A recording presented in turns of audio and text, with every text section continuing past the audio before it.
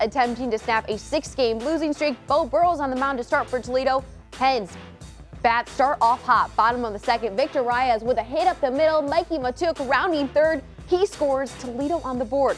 We go to the fourth. Two on for Harold Castro. Rips one down the first base side. Too hot to handle. Dawel Lugo scores. Hens take a 7 to nothing lead.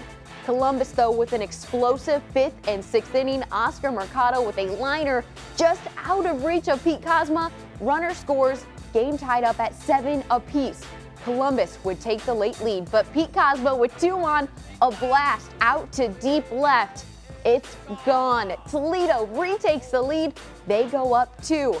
But there's drama in the ninth. Two on for the Clippers. Hit out to center. Check this out. Ball gets thrown back into the infield. However, it hits off of the runner. He's called out for interference. Clippers manager, he comes out, doesn't have very nice words to say. Hens get the win in the last game of the weekend series, 11 to 9.